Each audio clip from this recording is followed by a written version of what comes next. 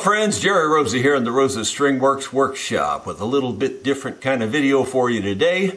My regular viewers know that most of my videos are about musical instruments, building, repairing, restoring, setting them up, etc. But today we're going to talk about a Harbor Freight welder. I just wanted to give you my two cents worth and let you know right up front that this is a non-sponsored uh, review, so it's just my personal thoughts on their welder. They have no idea I'm making this video. I'm sure they'll be pleased, and therefore you already know I like it. But let me uh, talk about a few things first, uh, a few terms and things like that, so that everyone is on the same playing field. There's several kinds of welding. Uh, three of the bigger ones are your stick welding, uh, which is, uh, you know, they call them a buzz box, you know, like a Lincoln welder type thing where you have an electrode and a ground and you just go to town with these long electrodes. That's the kind of welding that most folks are real familiar with. Uh, most of your farm welders uh, do that kind of welding. Uh, your backyard welders do that kind of welding. The next kind that's, and probably is even more popular today, I'm always behind the times, but the MIG welder would be your next uh, real common one. Now, MIG is, uh, there's two kinds of MIG welding. Technically, there's really just one kind of MIG welding. MIG welding uh, means that you're using an inert gas. That's what the IG stands for. But you can use the same machine, a MIG welding machine, with what they call flux core welding wire.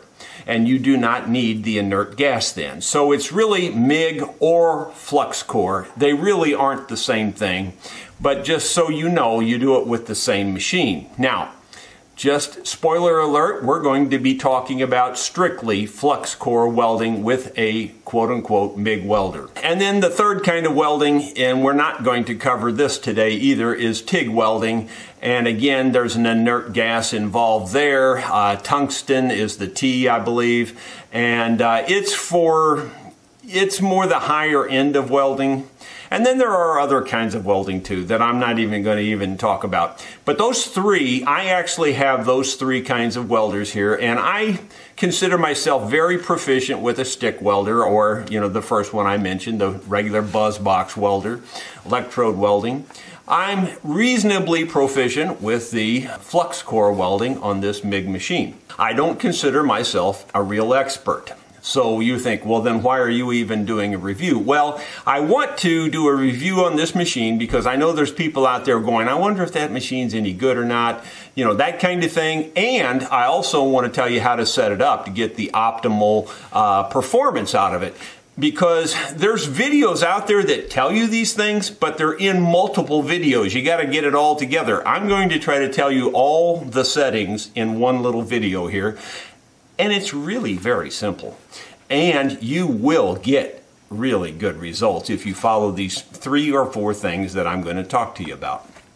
Okay, well, first of all, what kind of welder is it?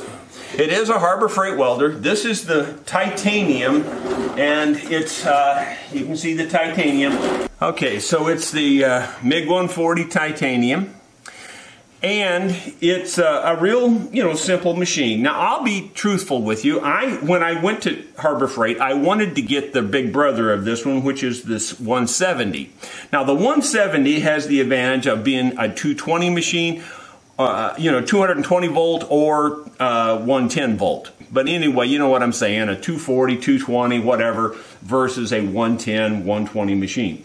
This is the 110 120 machine I was hesitant buying it because I thought, boy, I really would like to get a bigger one and, and you know, I need it quite a bit. But then I got to thinking about it, and really, this machine is so versatile. You can take it virtually anywhere on the farm, plug it in, and start welding. I mean, it just takes a regular plug-in. A 20 amp circuit is great. And I, you know, spoiler alert again, I used it for hours and hours and hours, and I'm not exaggerating. I've probably got at probably 20 hours at least on it and never blew a single fuse, circuit, breaker, anything. It just works great. That part works wonderful. Now, I only have it on a 20 amp breaker. If you put it on a 15 amp breaker, more than likely you'd run into trouble. I don't know that for sure because I haven't tried it. On the 140 versus the 170, would I buy the 140 again? You know, after rethinking it through and after my experience with it, I'd probably just buy the 140 the 220, the idea of having the more power is great, but I've got my big stick welder. If I need more power, I can use it. What the advantage of this is I can take it anywhere. I mean, I can take it up to my house and weld in my house if I needed to. Um, it's awesome. It's really cool. Or if you've got a, a, a decent decently powered generator, you could take your generator and this pretty much anywhere on this whole 280 acre farm and weld anywhere you wanted to weld. Uh, now, it would probably take a decently powered generator. I don't think a little lightweight generator would do it, but you know, I haven't tried that yet, so I don't know. It comes with a pretty robust cord. You can see here, this is a pretty heavy duty cord, but it's just your standard plug-in. Before we get into the front of the machine and, and the different controls, I just wanted to point out that this little chart here on the inside of the lid is really handy for setting up your machine when you're doing flux core welding, it's just this one little block right here that you have to pay attention to. And it pretty much tells you everything you need to know for the thickness of the material you're, welding, and it tells you how to set the uh, gauges on the front of the machine. On this gauge here, you have your wire speed, and you just set it according to the chart. You have your voltage here, and it'll go up to around 22 volts and somewhere in the 15 16 range you can weld some pretty reasonably heavy stuff um, i've been welding stuff that's about a quarter inch thick not quite a quarter inch thick in this range here so there's plenty of additional range for thicker stuff then you have an inductance setting, and to be perfectly honest with you, I don't know much about the inductance setting.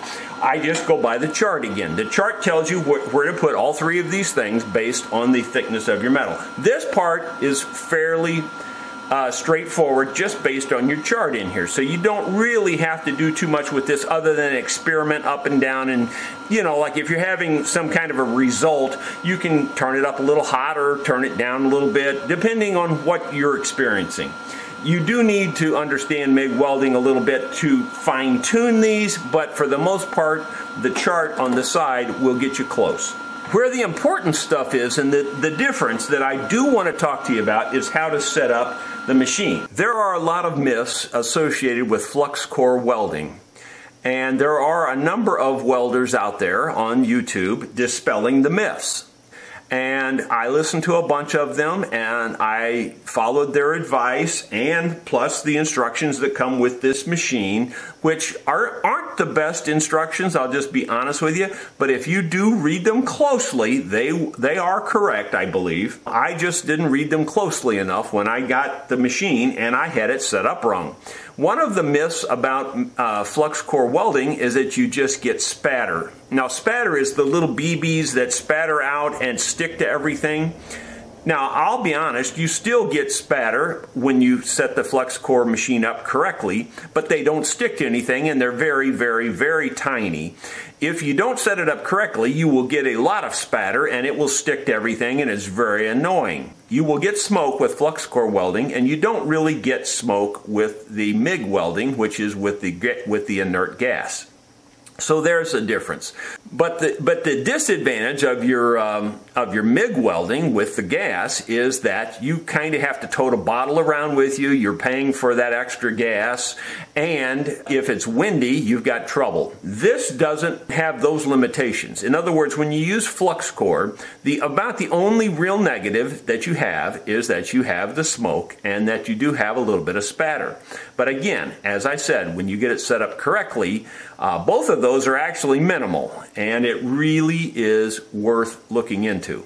Okay, so what are the differences and what do you need to look out for when you're setting this machine up for flux core welding? Well, one thing is uh, it's not obvious really from the directions, but when you're doing flux core welding, you want to set it up electrode negative and you want the ground to be on the positive. Now this is the, this is your ground cable here. This is what your ground looks like. And your ground, ordinarily, most folks think of putting the ground obviously in your negative port. And you can do that, especially if you're doing the gas welding, the MIG welding. But when you're doing flux core, you want this in the positive port. I don't know if it shows up real well in the camera, but there's a plus right there. So you can see that my ground cable is in the plus side here. And I can take it out and show you. It just snaps in. So I have it in the plus side. This redirects the uh, electrode from positive to negative. So in other words, this one here is for the electrode, the the uh, the business end, and you can plug it into the negative or the positive. And and and right now I have it plugged into the negative. So that means that the business end of this machine now, which is this, is plugged into the negative. That made all the difference in the world. It truly did. You really want to use flux core set up that way. Second thing is that you need to know is you do you use a different tip. This is a ceramic tip. With flux core, you don't want to use your metal tip. You want to use a ceramic tip. And so I have the ceramic tip on here. That's good too. That also helps with your spatter and that sort of thing. Another thing that you can do that's very helpful and I don't have it here right now, but they make an anti-spatter uh, gel that, you know, it comes in a tub or you can get it in a spray and you can dip the tip of this into the gel and that keeps the spatter from sticking to this also. It also seems for me to lubricate the wire there a little bit and uh, keep the wire from ever sticking up. There, that has been a little bit of a problem with this. I've, I've gone through quite a few tips, but a lot less tips once I got it set up correctly third thing is that you have to have the right feed roller here. There, it, the machine comes with multiple rollers. There's a this roller right here you, you can change this out. It just pulls off. You know, you have to undo this and take the pressure off of it. And this roller comes right off, and you can see it here. And it's set up for uh, different kinds of wire sizes and for flux core versus regular MIG welding. The, the flux core wire is the one I'm using is 035 in, in diameter, and this this is for the 035 and for the 030. The 030 is the narrower uh, channel. The 035 is the wider channel, and there's little uh, serrations in there to grab the wire and push it through. So I didn't have that correct either the first time I set the machine up. Once I set that up correctly, that helped a lot also. So those are the three main differences is that you want to get the right roller on there, you want to get your electrode negative instead of positive, and you want to have a ceramic tip.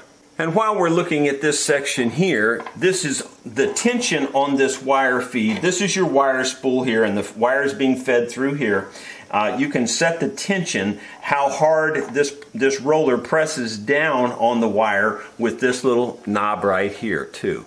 And you do need to experiment with that a little bit, but again, there are, in the book, it kind of tells you where to set that for these different things. It actually kind of tells you right here on this little uh, chart that's behind the spool.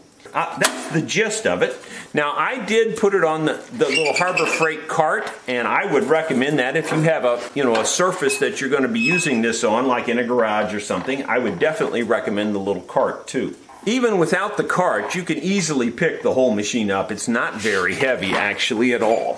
One hand, easy enough to carry it around and move it to wherever you need to move it to. So would I buy it again? Yes, I would. It's a really good machine and it, it has way more output than I ever thought it would. I, I really honestly thought I'd be struggling with say quarter inch thick steel, but I can actually burn through quarter inch steel with this with no problem at all. I mean, just burn right through it. I didn't try 3 eighths, but I wouldn't be afraid to weld 3 eighths with this at all. I mean, it, it once you get it set up right, you just can burn through the material. It has very deep penetration.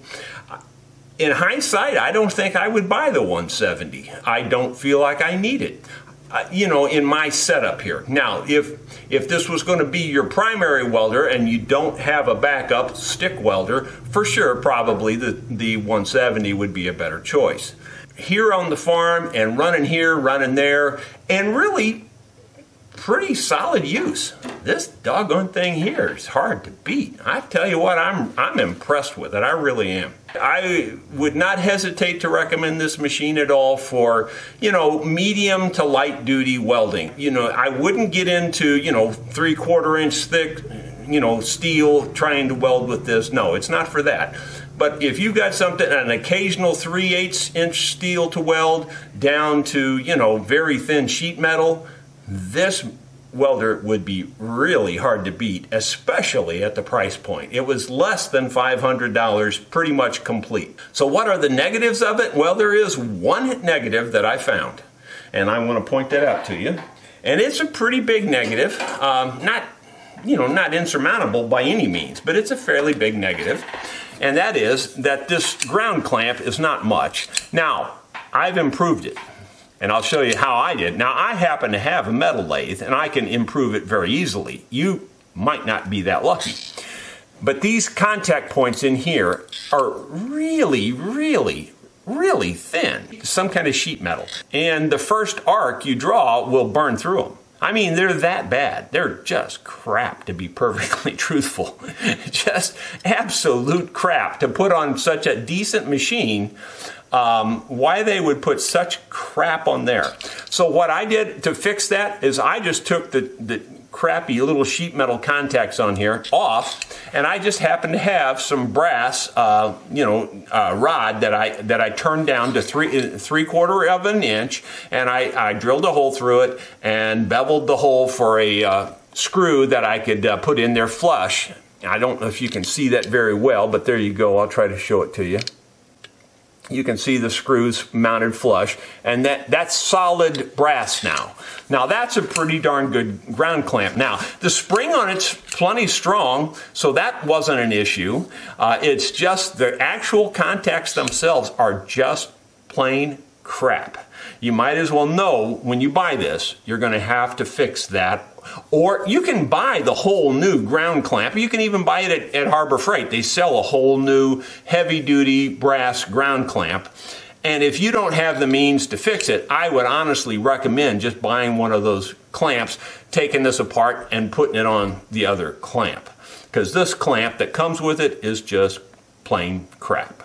That's just all there is to it. There's no way to sugarcoat that. Other than that, I honestly have not found anything that I thought was inferior at all. I actually feel like it's a very high quality machine. I, I, I was impressed, I'm seriously impressed. I thought I should just add that the duty cycle on this machine is not rated real high. It's got a fairly small, fairly short duty cycle. If you don't know what duty cycle is, that just means how much in a 10 minute, say, time period can you use the machine. Well, I think it's something like three minutes on and seven minutes off. And that sounds like that's pretty low. Honestly, I welded for a long, long time. I'm, I'm rebuilding a horse trailer and I had long welds, uh, six feet long welds, multiple welds of that. I didn't weld them solid, don't get me wrong, with one continuous weld. I would weld a little while and then I'd rest or do something else or clean welds or do something else, come back, weld some more, you know, do that and take little breaks and come back and weld some more. That's how I handled it. The machine never one time blew any breakers. It never did trip its, uh, its own thermal protection. It never tripped one single time. So the duty cycle on it to me seems very adequate for your typical garage welder, uh, your typical farm welder. If you're a professional and you're welding eight hours a day, it's probably nowhere near up to that task. But for just the average um, garage flunky like me, hey, I'm telling you, it'd be hard to beat at the price point. So I hope this review has helped you a lot. Um, if you were on the fence, now at least you know what you're getting into. And if you've never done flux core welding, I wouldn't shy away from it. I wouldn't listen to all the rumors that are out there and, and people say, no, you got to do the, the gas. That, that flux core is no good. They are wrong, my friends. The flux core works really well. It cuts deep, it draws a nice bead. It's really hard to beat. And to me, the flexibility of the flux core outweighs the benefits of the gas hand over fist. I doubt I'll ever even buy a bottle of gas for this thing, even though I know it would be a cleaner weld and all of those kinds of things. That's not my thing. I'm not putting my welds on display. I'm welding things to hold things. and, and, I'm, and I'm doing it as fast as I can get it done. And to me, the flux core is where it's at on that. I hope that might have changed some opinions out there. I hope uh, you'll look into it. And if you were on the fence about this machine, I can tell you, you won't be uh, sorry if you buy it other than the ground clamp. Thanks for watching.